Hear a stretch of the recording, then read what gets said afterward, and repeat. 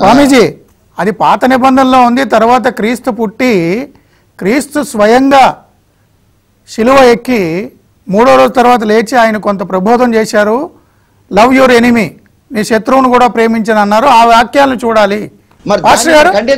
స్వామీజీ స్వామీజీ చెప్పారు.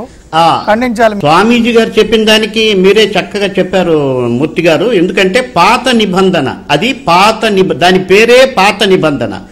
బైబిల్ ఏం చెప్తుందంటే. దయచేసి ఈ ఒక్క మాట మీరు నేను బైబిల్ నుంచి చదువుతాను.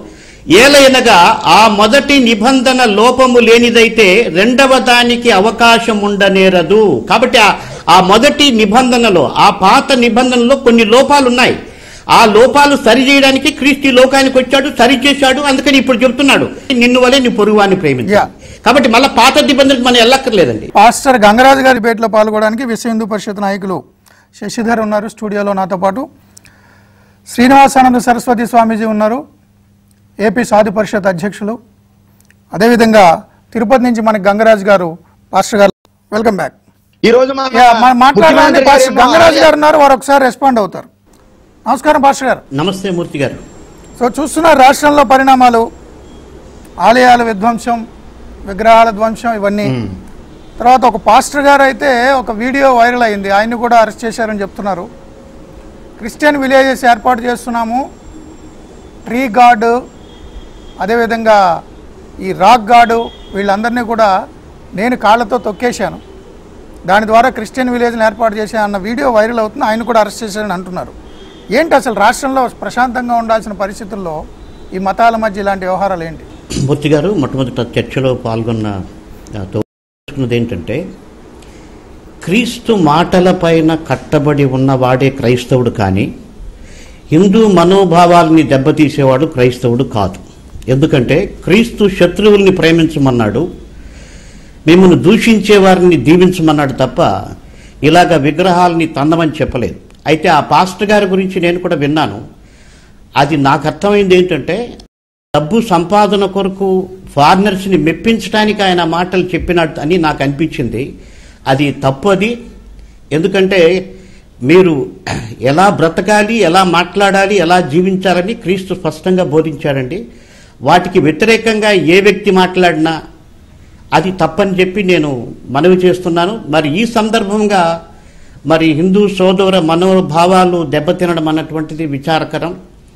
కాబట్టి ఆ విషయంలో నేను చింతిస్తున్నాను. మరి వారితో కూడా నేను ఏకీభవిస్తున్నాను. మరి అది చేసిన వారిని వారు ప్రభుత్వం వారు తప్పక పట్టుకొని వారికి తగిన శిక్ష విధించాలి. ఆ విషయంలో మరి మేము ఎవరిని కూడా ఎవరైనా సరే వారు శిక్షించబడాల్సిందే. ఎందుకంటే అది బైబిల్కి కూడా వ్యతిరేకమండి చట్టానికి వ్యతిరేకమని అందరికీ తెలుసు. కానీ బైబిల్కి కూడా ఇది వ్యతిరేకమని చాలా మందికి తెలియదు. చాలామంది అనుకుంటారు బైబిల్ నమ్మినటువంటి వారు క్రైస్తవ్యాన్ని లేక క్రిస్టియన్ మతాన్ని సపోర్ట్ చేస్తారని. కాదండి యేసు ప్రభు మాటల్ని సపోర్ట్ చేస్తాం మేము. యేసు ప్రభు యొక్క చెప్పిన దాన్ని మేము పాటించినప్పుడే నేనైనా క్రైస్తవుడు అవుతాను లేకపోతే ఆయన చెప్పింది పాటించినప్పుడు నేను కూడా కూడా ఇక్కడ క్రైస్తవునిగా ప్రజెంట్ చేసుకోవడానికి అనర్హండి కాబట్టి ఆ పాస్ట్ చేసింది తప్పని చెప్పి మేము ఖచ్చితంగా ఒప్పుకుంటున్నాం. ఎస్ శశి గారు. సో ఆంధ్రాలో పరిస్థితి చూశారు. విగ్రహాల విధ్వంసాలు నూట నలభై ఆలయాల మీద దాడులు. ప్లస్ రాజకీయం చుట్టూ తిరుగుతున్నాయి ఈ దాడులు కూడా మళ్ళీ.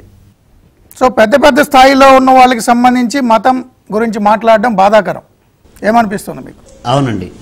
మతం గురించి ఎవరు మాట్లాడినా తప్పండి. ఇప్పుడు మతం కాదు కదా ఇప్పుడు. మతం అన్నటువంటిది వారి వారి విశ్వాసాలకు సంబంధించింది. ఏ మతస్థులు ఏ మతస్థుల్ని దూషించడానికి ఏ మతము ఒప్పుకోదు. కాకపోతే ఇక్కడ జరుగుతున్నటువంటి నా యొక్క మనవి ఏంటంటే డీజీపీ గారికి కానీ ఆంధ్రప్రదేశ్ ప్రభుత్వానికి కానీ మీరు సోషల్ మీడియా చూసినట్టయితే ఒక మతస్థులు ఇంకొక మతస్థుల పైన దూషించుకునేటువంటి వీడియోస్ కొన్ని వేల సంఖ్యలో ఉన్నాయండి. వేల సంఖ్యలో. ఒకటి రెండు కాదు. నేను ఎవరిని సమర్థించడం లేదు. ఇద్దరు చేసేది పొరపాటే. అయితే ఈ వేల సంఖ్యలో ఒకరి మతాన్ని ఒకరు దూషిస్తూ ఉంటే ప్రభుత్వం చర్యలు తీసుకునేటువంటి బాధ్యత ఉందని చెప్పి నేను నేను మీ మూలంగా తెలియజేస్తున్నాను. ఎందుకంటే అక్కడ మొదలవుతుందండి ఇప్పుడు సమస్య ఇప్పుడు ఎక్కడ మొదలైందంటే సోషల్ మీడియా ఒకరినొకరును ఒకరి మతాన్ని ఒకరు కించపడుకునేటువంటిది ఆరంభం. అది పూర్తిగా పెరిగి పెరిగిపోయిన తర్వాత ఇప్పుడు వేరే మతం పైన మాట్లాడుతున్నారు కానీ ఆ సోషల్ మీడియాలో ఎవరు మాట్లాడారో ఆ మనుషులు ఉన్నారు కదా. మతం జోలికి ఎందుకు ఎవరు తప్పు మాట్లాడారో వాళ్ళని శిక్షించేయచ్చు. మరి వాటి గురించి ఏమి పట్టించుకోకుండా ఆ వేల కొద్ది వీడియోలు అలాగే ఉన్నాయి. దాని గురించి ఏం పట్టించుకోరు. నేను ఎవరిని సమర్థించడం లేదు. మా మత క్రైస్తవ తప్పు మాట్లాడితే వాళ్ళని అరెస్ట్ చేయాల్సిందే. కాకపోతే ఇక్కడ ఏం జరుగుతుంది? ఒక ఇద్దరు ముగ్గురు మూర్ఖులు చేసేటువంటి పనికి మతాల మధ్య చిచ్చు పెడుతున్నారు. కాబట్టి అది దానికి బైబిల్ వ్యతిరేకం. యేసుప్రభు ఎప్పుడు కూడా సమాధానాన్ని ప్రకటించాడు. ఆయన సమాధానం గురించి మీరు ఎక్కడికి వెళ్ళినా సమాధానమని పలుకుమని చెప్పాడు. కాబట్టి క్రైస్తవుడిగా మేము సమాధానం పలికేవాళ్ళం. కాకపోతే కొంతమంది బైబిల్ తెలియనటువంటి బుద్ధిహీనులు దూషణకు ప్రతిదూషణ చేస్తూ ఇతర మతస్థులు వాళ్ళు మాట్లాడినట్టుగా వీళ్ళు మాట్లాడడం తప్పు. కాబట్టి ఎవరైనా సరే అండి సోషల్ మీడియాలు పరిశీలించాలి. వేల కొద్ది వీడియోస్ ఉన్నాయి. భయంకరమైనటువంటి వీడియోస్ ఉన్నాయి. కాబట్టి వారిని శిక్షిస్తే ఇంకొకరు జాగ్రత్త పడతారు తప్ప వాటన్నిటిని అలాగే పెట్టేసేసి వాటి గురించి ఏం పట్టించుకోకోకుండా. మరి ఈరోజు మేము ఏదో చేస్తామంటే దానికి మూలాన్ని పరిష్కరించాలండి. కాబట్టి నేను చేసేటువంటి మనవి ఏంటంటే మతానికి దీనికి సంబంధం పెట్టొద్దు దయచేసి. మతాన్ని గురించి మాట్లాడాల్సినటువంటి అవస- అవసరమే లేదు.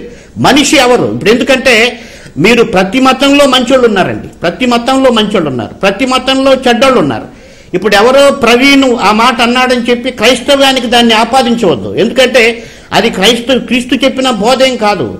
క్రీస్తు నిన్ను వలే నీ పొరుగువాన్ని ప్రేమించమన్నాడు. నీ పొరుగువాని విగ్రహాన్ని తన్నమని చెప్పలేదు. అవసరమైతే నీ పొరుగువాంతు నువ్వు తన్నులు తినమని చెప్పాడు తప్ప అలాగ వేరే వాళ్ళని కించపరచమని చెప్పలేదు. కాకపోతే ఇక్కడ ఏమవుతుంది? ఒక వ్యక్తి చేసిన దాన్ని. మతానికి ఆపదిస్తున్నారు. వక్తలు కూడా మాట్లాడినప్పుడు మతాన్ని బట్టి మాట్లాడుతున్నారు. కాబట్టి నా మనం ఏంటంటే దయచేసి మతానికి said. మన. సోషల్ మీడియాలో వ్యాఖ్యలు ఇలాంటి వీడియోస్ ఉన్నాయి. దయచేసి మీరు వాటిపైన చర్చ కానీ తీసుకోండి. ఎంటైర్ క్రైస్తవ్యం మీద అని కాకుండా ఉండాలని. యా స్వామీజీ కంక్లూడ్ చేద్దాం. అవునండి అవును. ఎవరైనా సరే అండి ఎవరైనా సరే.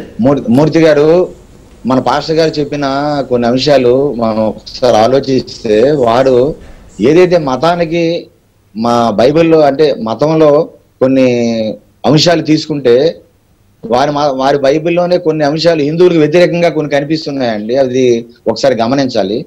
వారి నిర్గమాకాండం పాత నిబంధనలో విగ్రహారాధకులు సైతానుడని వాళ్ళ రాళ్ళతో కొట్టి చంపుడు అని నిర్గమాకాండము ఇరవై ఆరో వచనం నుంచి ఉన్నదండి.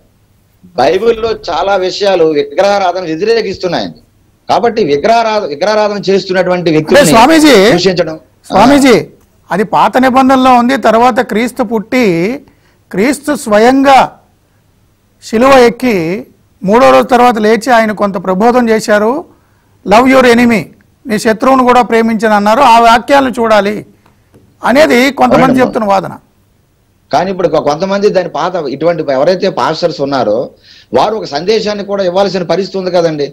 మరి పాస్టర్ దాన్ని గారు ఖండించాల్సిన స్వామీజీ స్వామీజీ చెప్పారు. ఆ, ఖండించాలి. స్వామీజీ గారు చెప్పిన దానికి మీరే చక్కగా చెప్పారు మూర్తి గారు. ఎందుకంటే పాత నిబంధన అది పాత నిబ దాని పేరే పాత నిబంధన. బైబిల్ ఏం చెప్తుందంటే. దయచేసి ఈ ఒక్క మాట మీరు నేను బైబిల్ నుంచి చదువుతాను. ఏలైనగా ఆ మొదటి నిబంధన లోపము లేనిదైతే రెండవ దానికి అవకాశం ఉండనేరదు కాబట్టి ఆ- మొదటి నిబంధనలో ఆ పాత నిబంధనలో కొన్ని లోపాలు ఉన్నాయి ఆ లోపాలు సరి చేయడానికి క్రీస్తు లోకానికి వచ్చాడు సరి చేశాడు అందుకని ఇప్పుడు చెప్తున్నాడు. నిన్ను వలే నీ పొరుగువాన్ని Yeah. కాబట్టి మళ్ళీ పాత నిబంధనకు మనం వెళ్ళక్కర్లేదండి. పాస్టర్ గంగరాజు గారు